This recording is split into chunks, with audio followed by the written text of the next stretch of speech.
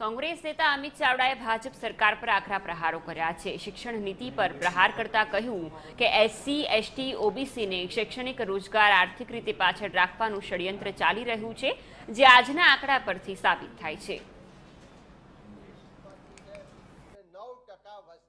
લઘુમતી સમાજની છે. એટલે બ્યાસી ટકા વસ્તીના ઉત્કર્ષ માટેના જે નિગમો બન્યા છે એને આંકડા પરથી સ્પષ્ટ જોઈ શકાય છે કે બે હજાર એકવીસ બાવીસના વર્ષમાં ફક્ત એક્યાસી કરોડ રૂપિયાની લોન સહાય આપવામાં આવી છે. અને બીજી બાજુ બિન અનામત, જે બિન અનામત વર્ગના લોકો માટે નિગમ બનાવવામાં આવ્યો. એને એકવીસ બાવીસના વર્ષમાં ચારસો પચાસ કરોડ રૂપિયા આપવામાં આવ્યા હતા. એ જ રીતે બે હજાર બાવીસ ત્રેવીસના વર્ષમાં જોઈએ તો જે આ એસસી એસટી ઓબીસી માઇનોરિટી માટેના નિગમ છે, એને એકસો એકત્રીસ કરોડ રૂપિયા લોન સહાય આપવામાં આવી. અને બીજી બાજુ બિન અનામત નિગમને બે હજાર બાવીસ ત્રેવીસના વર્ષમાં પાંચસો કરોડ રૂપિયા આપવામાં આવ્યા.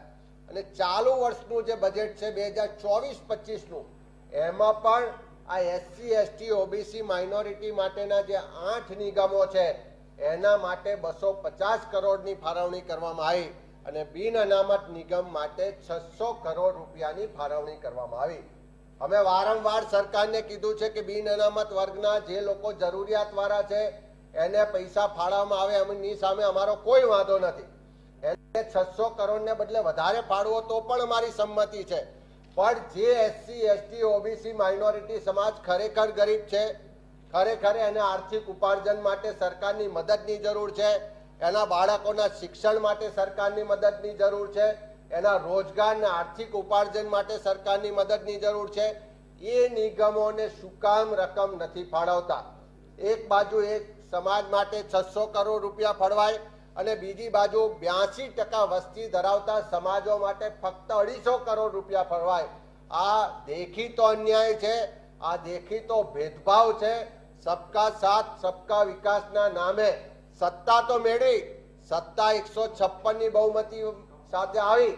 એમાં તમામ સમાજોનું પણ સમર્થન મળ્યું. પણ સત્તાના સિંહાસન પર બેઠા પછી આ ગરીબ સમાજોને ભૂલી જવામાં આવે છે. એ લોકો કઈ રીતે પાછળ રહે? એના બાળકો આવનારા સમયમાં શિક્ષણ ના મેળવે, રોજગાર ના મેળવે, ખાલી મહેનત મજૂરીને સેવા કરવા માટે જાણે એમનો જન્મ થયો હોય. એવી માનસિકતા જે આરએસએસની છે એ આરએસએસની માનસિકતાથી ચાલવા વાળી આ સરકાર સદંતર રીતે અન્યાય કરી રહી છે, ભેદભાવ કરી રહી છે અને આ સમાજોને એમના હક અધિકારથી વંચિત રાખી રહી છે.